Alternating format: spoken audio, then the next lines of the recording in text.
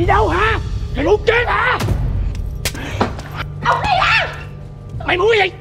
Muốn cái gì muốn cái gì?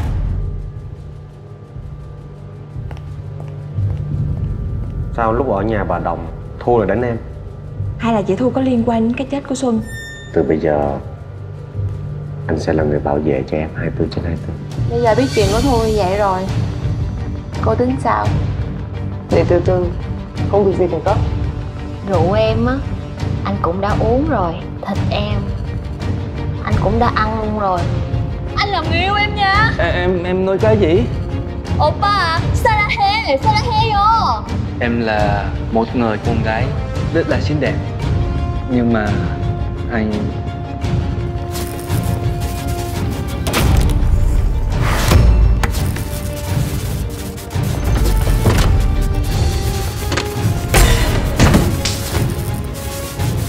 Xuân tính làm gì vậy?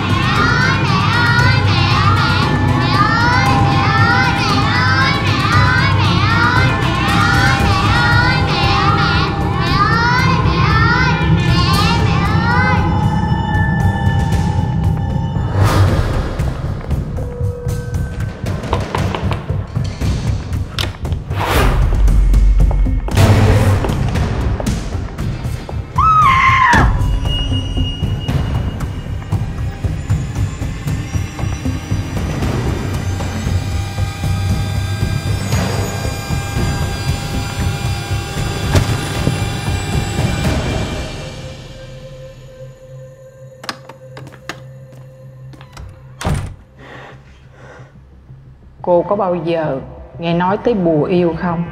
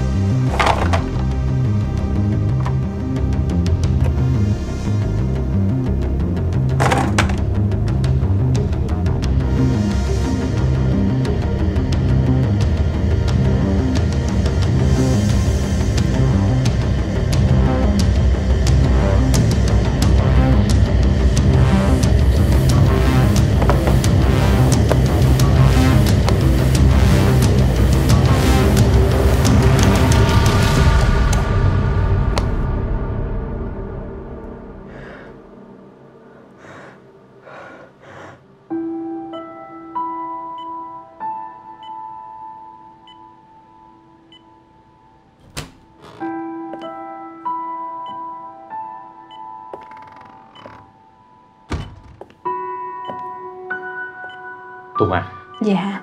Chú có chuyện này nhờ con Tình hình mà Dũng trong tình trạng chết lâm sàng. Chú đã hội chẩn rất rất nhiều giáo sư đầu ngành Nhưng kết quả chưa rõ ràng cho lắm. Tạm thời Con đừng cho ai biết chuyện này. Còn chuyện chăm sóc Dũng Chú giao cho con Được chứ? Dạ. Chú và con sẽ lo cho Dũng. Con yên tâm đi sẽ làm mọi cách để chúng sống trở lại. Vậy nha.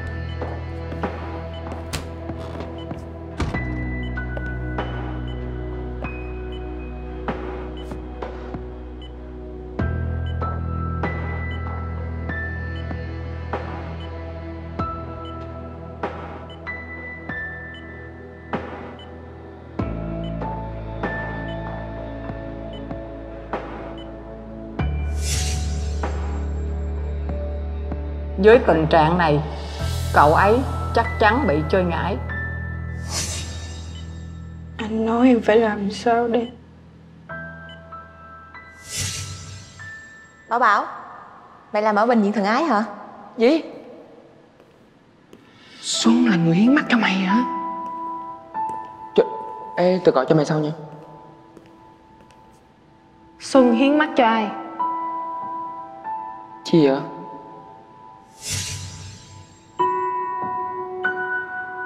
Khi Xuân chết, Xuân có hiến đôi mắt của mình cho một cô gái. Em đã bắt Bảo Bảo phải đưa cô gái đó về đây. Hy vọng rằng có được đôi mắt của Xuân. Em sẽ cứu được anh. Rồi chúng ta sẽ cùng nhau đi xe đạp, Cùng nhau đọc sách. Nha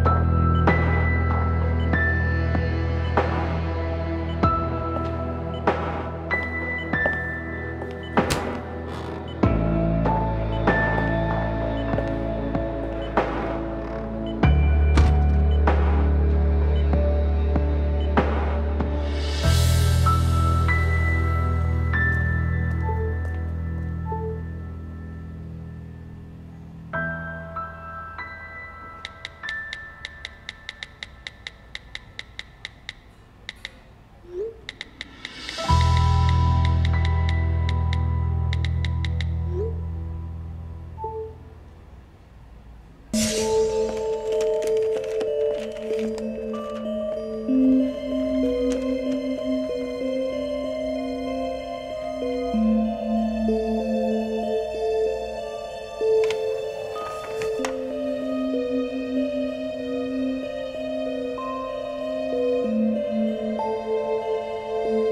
nghe nè em. Dạ chị ơi em là Thu hay đặt hàng bên chị nè. Dạ. Chị ơi chị có ship lộn búp bê cho em không? Tại vì em đặt búp bê vải mà chị. Không đâu em địa chỉ như mọi khi mà. Em kiểm tra lại xem. Dạ.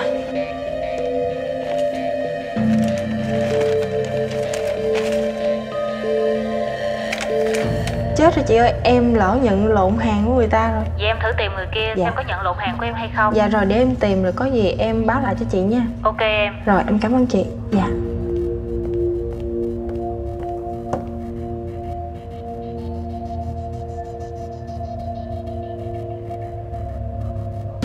ôm Bảo muốn chơi búp bê ta.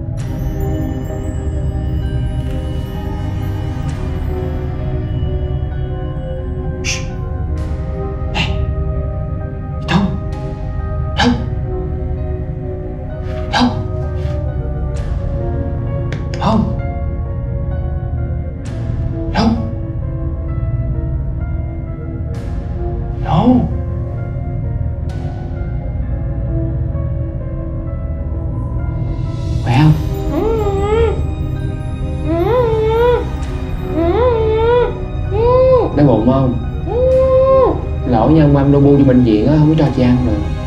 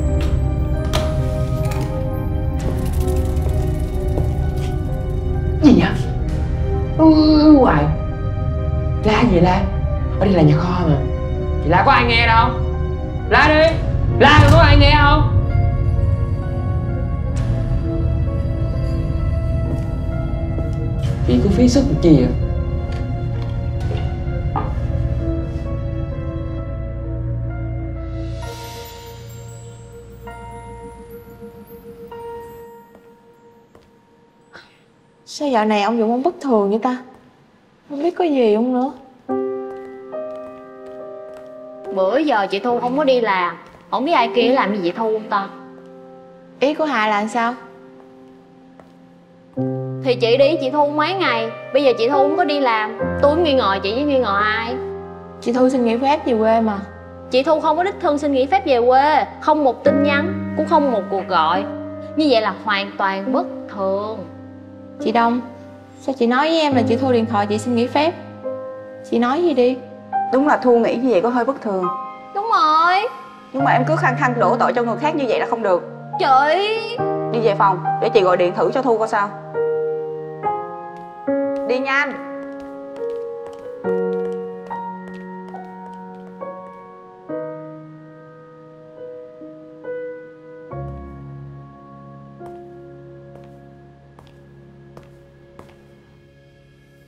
nhận chị hay thiệt á. Con sang nó nghi nguyên cái bệnh viện. Chừa đúng mình chị ra. Ê cái vụ mà chén chè máu với lại cái chữ trên tường này nó đó tôi không biết chị luôn. Ghê thì đúng là chị phải là diễn viên mới phải. Chính mày kêu tao làm chuyện đó mà.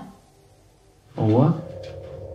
Nhưng mà chị kêu mà chị năn nỉ em nói là vụ con sang nó lại điều tra cái chết con xuân chứ bộ Nhưng mà mày là người giết con Xuân cái mày mày không quá. Không quá. Tự nhiên nói giết con xuân giết con xuân nào? Thằng kia tông chết con xuân em chỉ sai nó tông chết con xuân chứ em có giết con xuân nào. Đúng không? Tao sẽ tố cáo mày. Gì nữa gì có cái gì cũng biết nữa. Em với chị là chung một cái hội một chị tố cái em cũng liên lụy gì vậy là mày. Mày là mày năn nỉ tao kêu con sang vô đây để mày có đôi mắt con xuân cứu thằng dũng tao cho mày rồi. Bây giờ mày định phản tao hả? Hả? con sang nó biết rồi đó. Nói mà nói cho người ta nghe. Chết cả đám. Á. Mày cũng biết sợ nữa hả? Tao có sợ. Tao lo cho anh phan à mày có biết là mấy chuyện này nó phiền tới anh phan như thế nào không nữa ừ?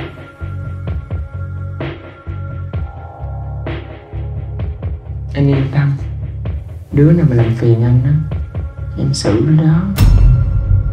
Đồ minh hoài. Biến thái.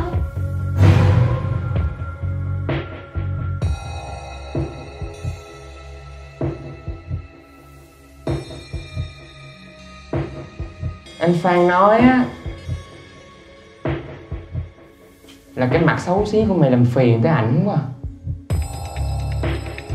tao cũng ưa mấy đứa con gái xấu như mày. Anh ha Mày định làm gì tao? Hả? Trang điểm cho mày mà. Có làm gì đâu lam sầm ngẩng mặt lên. Ngẩng mặt lên trang điểm cho. Buông ra bỏ tao ra. Rửa đây. Bỏ tao Ê Đấy Người đẹp nè. Màu đẹp quá nè. Mày để tao thử trước nha. Để tao thử cho mày nha. Tao thử trước cho.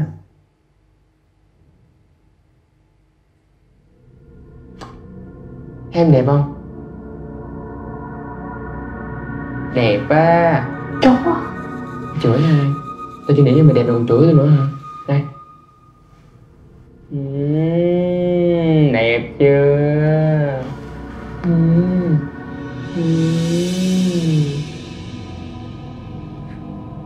Đẹp quá. À. Bà môi đi Bà môi đi Còn má hồng nữa. Vậy vậy vậy Còn má hồng nữa. Vậy buông ra.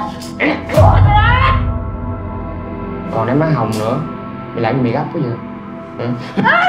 Ngẩng mặt lên ngẩng mặt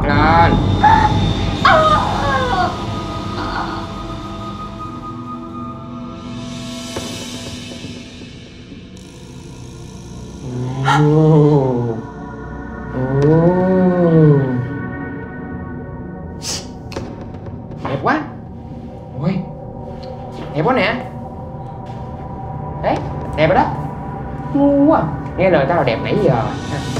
ừ. đẹp quá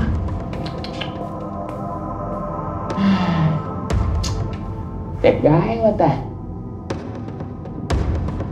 Anh nghĩ cái Bảo Bảo có liên quan đến vụ án của Xuân không? Anh nghĩ là khi mọi chuyện chưa chắc chắn thì chúng ta không nên khẳng định.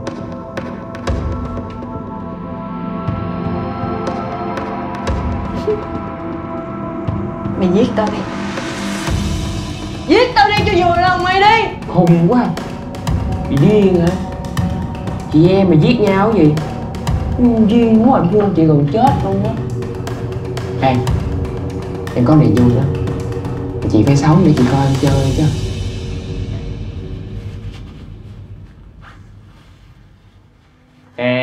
Ê, biết gì không? Biết gì không? Mày định làm gì vậy Bảo? Gì đâu, gì đâu sợ Ừ. Biết này gì không? Ừ. Ừ. Biết này gì không? Ừ. Biết cái này gì Bảo không? Đừng mà Bảo Ừ. Làm gì đâu? Đừng mà Bảo Bảo Đừng mà Bảo Bảo Anh nghĩ là sau khi em tìm được Thu thì mọi chuyện sẽ rõ ràng. Em hãy thử gọi cho Thu chứ. Em. Anh Dũng. Anh Dũng ơi. Anh Dũng ơi.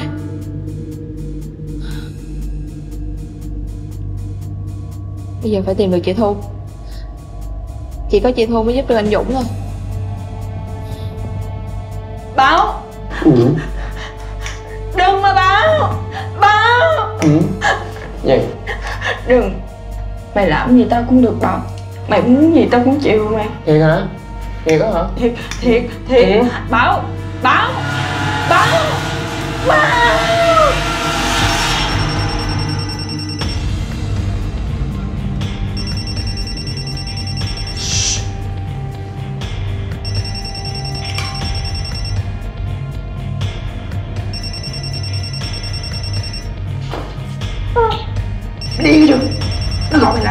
nó lộ Chết cho tao.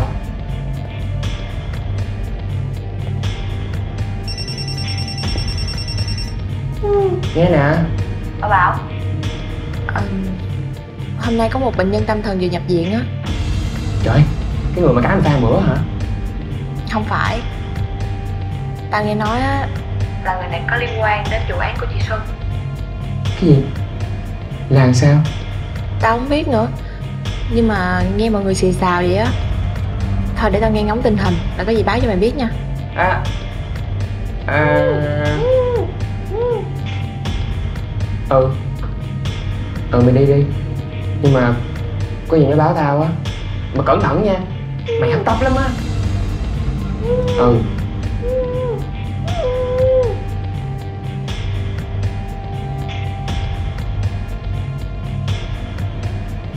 phiền quá alo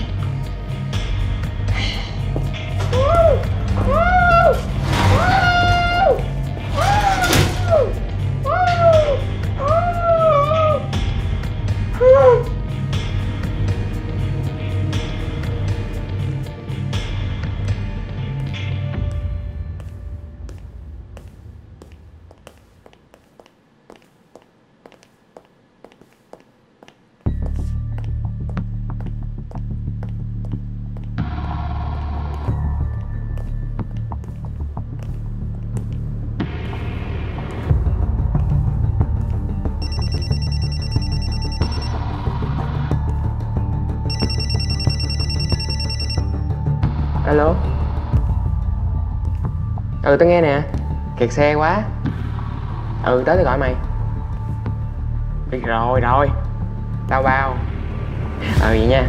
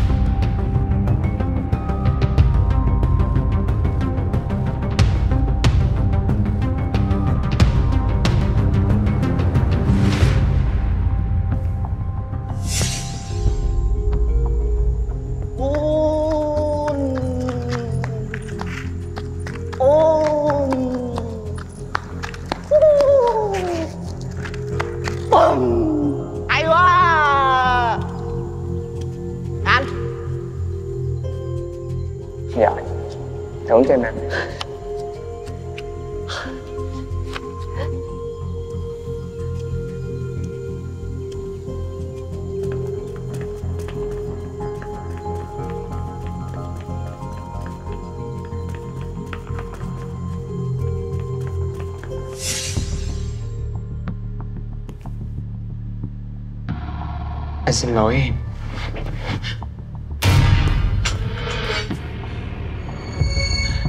Anh phan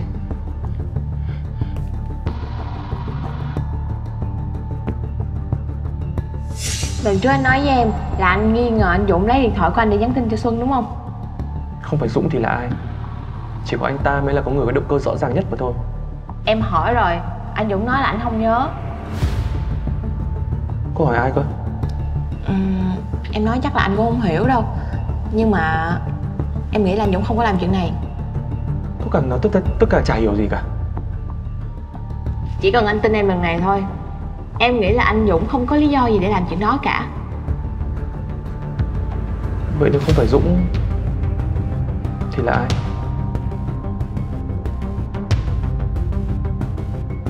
Anh có thể kể cho em nghe chi tiết vụ tai nạn ngày hôm đó được không? Em nghe nói người tài xế lái xe là một bệnh nhân tâm thần.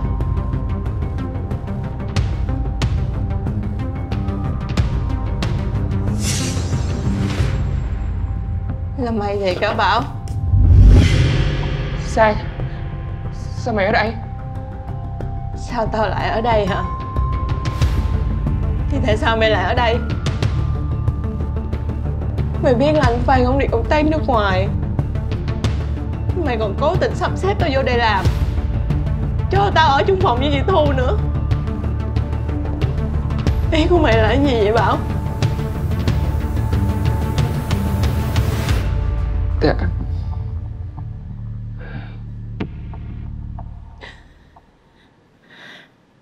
Chị Thu đâu? Tao không biết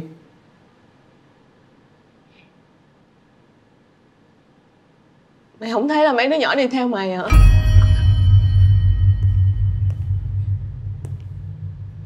Mày nói gì vậy sang? Hả? Mày nói gì vậy?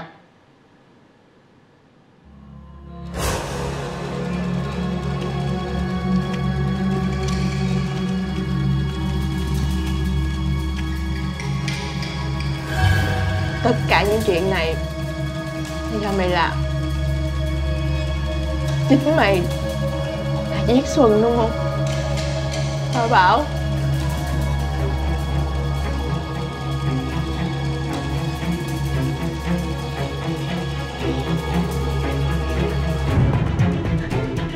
Tại sao mày lừa tao? Tại sao mày đã dối tao?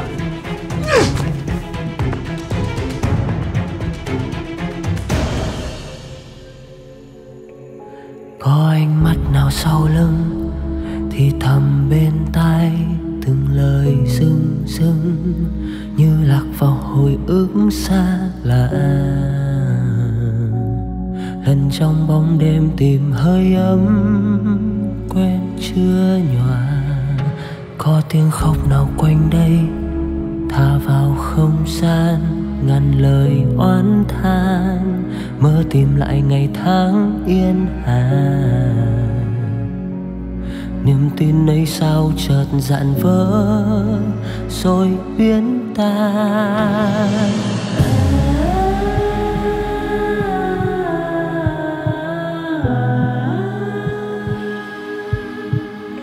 Làm ơn đừng đi quá vội. Con tim dường như muốn hỏi han thêm chút thôi.